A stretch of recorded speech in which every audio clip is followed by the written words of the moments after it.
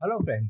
welcome to my channel IGNOU assignment Guru so आज की इस वीडियो में हम बात करने वाले हैं कि आप अगर ऑनलाइन असाइनमेंट सबमिट करना चाहते हैं सो so अपने जो भी आपने हैंड रिटन असाइनमेंट अपने घर पे जो है लिखे होंगे हार्ड कॉपी में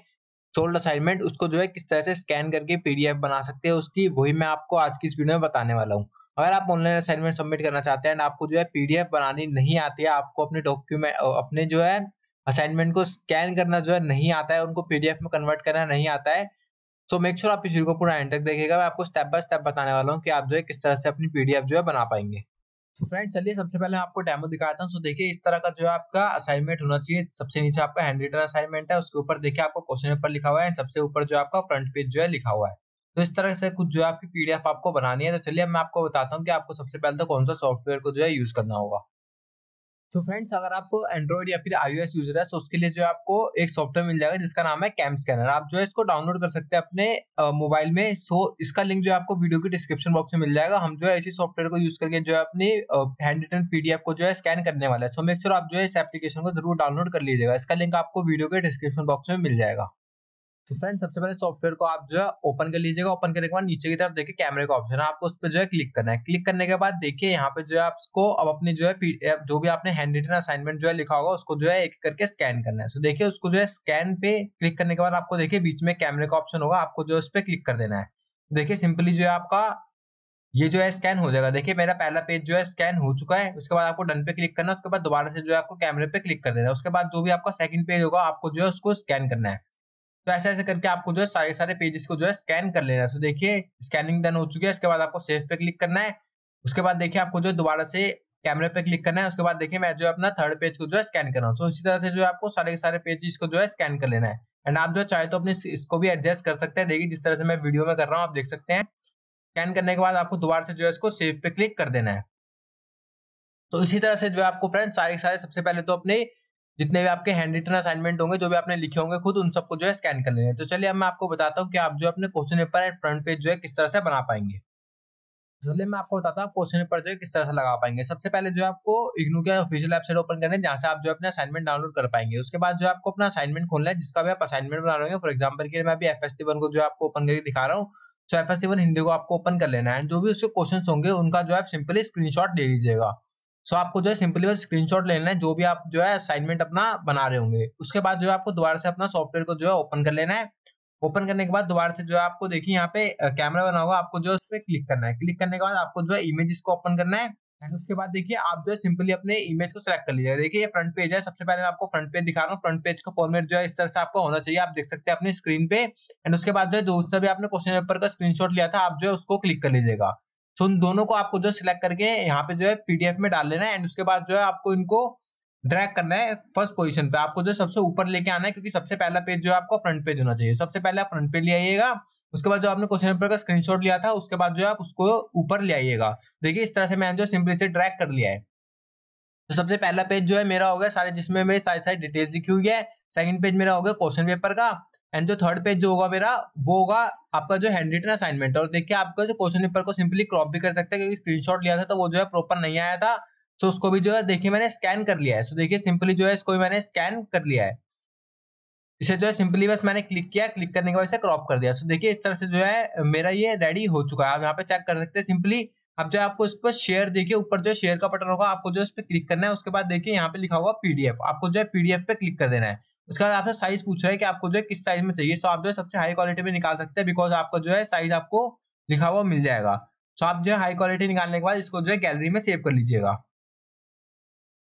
सो उसके बाद जो है रीनेम रीनेम की बात आती है अब आपको बताता हूँ कि आप जो है इसे रीनेम किस तरह से कर सकते हैं आपको बता दूँ आपको जो है इग्नो के ऑफिशियल रीजनल सेंटर की अपनी वेबसाइट जो है ओपन करना होगा जिस फॉर्मेट में वहाँ पे लिखा होगा आपको जो है उसी फॉर्मेट में अपनी पीडीएफ को जो है रीनेम करना होगा तो चलिए अब मैं आपको बताता हूँ कि आपको जो है किस तरह से, आप रीनेम कर पाएँगे। आपको जो है किस तरह से चेक करना है कि आपको जो है क्या इसका फ़ाइल का जो है नेम देना होगा एंड आपको जो है किस तरह से इसको अपने रीजनल सेंटर में जो है सेंड करना होगा वो सभी जो है मैं आपको आगे बताने वाला हूँ। मिक्सर मेक आप इस वीडियो को पूरा एंड तक देखिएगा। तो देखिए मेरी जो है पीडीएफ बनकर तैयार हो चुकी है। चलिए मैं आपको इसको ओपन भी करके जो है दिखा देता हूँ।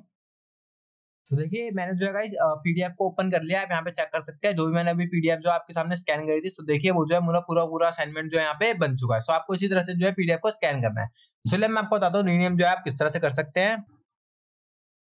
सो फ्रेंड रीनेम के लिए मैं आपको बताता हूँ आपको पीडीएफ का नेम जो है किस तरह से रखना होगा उसके लिए जो आपको अपनी रीजन सेंटर की जो है वेबसाइट ओपन करनी है देखिए मैंने जो है रीजन सेंटर की सारी सारी वेबसाइट की जो है लिंक ओपन कर लिया है इसका लिंक आपको वीडियो के डिस्क्रिप्शन बॉक्स में मिल जाएगा आप इसे ओपन कीजिएगा ओपन करने के बाद आपको जो अपना रीजन सेंटर जो चेक करना हो कि आपका रीजन सेंटर कौन सा है। फॉर एग्ज़ाम्पल ये मैं डेली आरसी वन की जो है बात कर लेता हूँ। डेली आरसी वन में जो है ऐसा कुछ भी नहीं लिखा हुआ है आपको इंस्ट्रक्शन में कि आपको जो है पीडीएफ का कोई स्पेसिफिक नेम देना है। सो आप जो कोई भी जो है अपना रीनेम दे सकते हैं। आप जो सिंपली अपना कोर्स का कोड भी लिख के यहाँ पे जो है रीनेम में दे सकता है। बिकॉज़ यहाँ पे इंस्ट्रक्शन में जो है कुछ भी नहीं लिखा है कि आपको जो है रीनेम किस तरह से अपनी पीडीएफ फ़ाइल को करना है। अगर जो आपके लिए कुछ भी इंस्ट्रक्शन नहीं दिया हुआ है आपके रीनेम के लिए तो आप जो सिंपली कुछ भी जो अपनी फ़ाइल का नेम लिख सकते हैं बट आप जो है ऐसे नाम लिखिएगा जिससे कि टीचर को पता चल जाए कि आप जो है असाइनमेंट किसका दे रहे हैं फॉर एग्ज़ाम्पल की एफ़ एस टी वन की बात कर लो तो आप जो है simply F S T one जो अपने पीडीएफ का नाम रख सकते हैं तो अगर मैं लखनऊ की बात करूँ तो देखिए यहाँ पे जो है मैंने इसे ओपन कर लिया है लखनऊ की जो है ये रीजन सेंटर की वेबसाइट मैंने ओपन कर रखी है आप ऊपर चेक कर सकते हैं बट यहाँ पे देखिए नीचे जो है फिफ्थ पॉइंट में आपके जो है पीडीएफ के नेम के लिए आपको फॉर्मेट दिया हुआ है तो देखिए आपके पीडीएफ का नेम दिखा हुआ है enrolment number underscore programme code underscore course code dot PDF so इसी तरह से जो आपको अपने पीडीएफ का रीनेम करना होगा। फॉर एग्ज़ाम्पल के लिए चलिए, मैं आपको करके भी दिखा देता हूँ।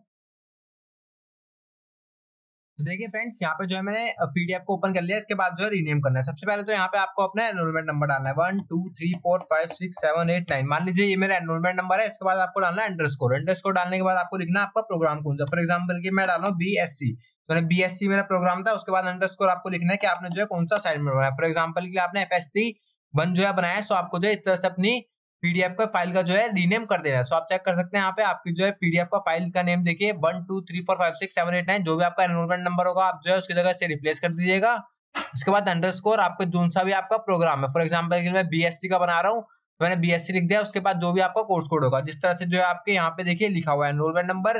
तो आप आपका प्रोग्राम कोड उसके बाद जो यहाँ पे आपका कोर्स कोड लिखा हुआ है, उसके बाद. डॉट पीडीएफ सो इसी तरह से जो है मैंने देखिए यहाँ पे अपने पीडीएफ का जो है नेम कर दिया है। सो आपको जो है यही ध्यान रखना है कि आपके रीजनल सेंटर की वेबसाइट पे क्या इंस्ट्रक्शंस आपको दिए होंगे अपनी पीडीएफ को रीनेम करने के लिए। फॉर एग्ज़ाम्पल के देखिए मैंने पुणे की जो है वेबसाइट ओपन कर लिया। पुणे की वेबसाइट में कुछ अलग तरह का फॉर्मेट दिया हुआ है, आप यहाँ पे चेक चेक कर सकते हैं। थर्ड पॉइंट जो आपका लिखा हुआ है, कि यहाँ पे आपको सिर्फ़ और सिर्फ़ अपना एनरोलमेंट नंबर अंडरस्कोर जो है कोर्स कोड लिखना है। फॉर एग्ज़ाम्पल के लिए अगर मैं इसको रीनेम करके दिखाऊँ आपको तो इसमें जो है मुझे कोर्स कोड नहीं लिखना होगा तो देखिए कुछ इस तरह का जो है फॉर्मेट है आपकी पुणे की वेबसाइट के लिए सो देखिए पुणे की आपकी रीजन सेंटर की वेबसाइट मैंने ओपन किया है सो इस तरह से जो आपको अपना रीनेम करना है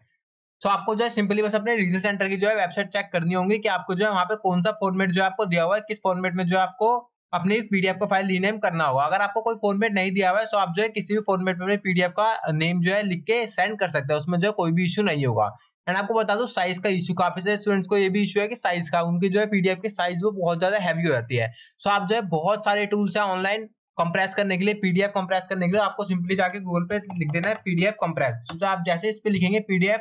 कंप्रेस तो देखिए यहाँ पे जो है काफ़ी सारे आपको सॉफ्टवेयर आ जाएँगे। सो आप जो है कोई सा भी इसको ओपन कर लीजिएगा। ओपन करने के बाद आपको यहाँ पे सेलेक्ट करने होंगे पीडीएफ एंड यहाँ पे से जो आपकी सिंपली पीडीएफ जो है कंप्रेस होकर आपको मिल जाएँगे। सो आपको जो है साइज़ का भी ध्यान रखना है। जैसे कि यहाँ पे देखिए लिखा हुआ है कि आपकी मैक्सिमम साइज़ जो है एक पीडीएफ का स्वयं भी होना चाहिए। सो आपको जो है इन सारी चीज़ों का ध्यान भी जो है रखना होगा। तो मेक श्योर आप इन चीज़ों का भी ध्यान रखेगा अगर आपका साइज़ जो है पीडीएफ का मेंशन किया हुआ सो आपको जो है उसी के अंडर में जो है अपना साइज़ में पीडीएफ जो है बनानी होंगी। इन सबकी डिटेल्स आपको अपने डिजिटल सेंटर की वेबसाइट पे मिलेंगी। सो इसका लिंक आपको वीडियो के डिस्क्रिप्शन बॉक्स में मिल जाएगा। आप जो है सिंपली वहाँ जाकर अपने डिजिटल सेंटर की वेबसाइट जो ओपन कर पाएँगे। एंड फ्रेंड आपको बता दूँ, आपका जो भी फ्रंट पेज है, उसके डिटेल्स भी जो है आपको अपने रीजन सेंटर की वेबसाइट पे ही मिलेंगी। जैसे कि मैंने आपको पहले दिखाया था कि आपको जो अपने रीजन सेंटर की वेबसाइट ओपन करनी है, वहाँ पे जो आपको इंस्ट्रक्शंस ऊपर दिए होंगे, सारे सारे जो भी आपके इंस्ट्रक्शंस होंगे, उनके लिए मैंने डेडिकेटेड वीडियो बनाई हुई है। आप जो मेरे यूट्यूब चैनल पे जो है चेक कर सकते हैं। मैंने काफ़ी सारे रीजन सेंटर के लिए डेडिकेटेड वीडियोस बनाई है, जिसमें मैंने आपको बताया हुआ है कि किस इंस्ट्रक्शन को फॉलो करके जो है आपको अपने असाइनमेंट की पीडीएफ को जो है बनाना है। सो so, जो भी आपका फ्रंट पेज होगा जो भी आपको फ्रंट पेज पे लिखना है उन सब की डिटेल जो है आपको अपने रीजनल सेंटर की वेबसाइट पे ही मिलेंगी। आपको जो है सिंपली अपने रीजनल सेंटर की वेबसाइट ही चेक करनी होंगी अपने फ्रंट पेज का फॉर्मेट के लिए भी। एंड आपको बता दो फ्रंट पेज को जो है आपको पीडीएफ पे बनाने इंपॉर्टेंट नहीं है। आप जो अपने हाथ से लिख के यानी कि शीट पे लिख के उसको स्कैन करके जो है एज ए फ्रंट पेज भी लगा सकते हैं। उसमें भी जो है कोई भी दिक्कत नहीं होने वाली है। आपको ज़रूरी नहीं है कि उसको जो है आपको पीडीएफ ही बनाना है या फिर आपको कंप्यूटर से बना के लिखना है। अगर आप चाहते हैं तो सिंपली आप जो है शीट पे अपने जो है लिख के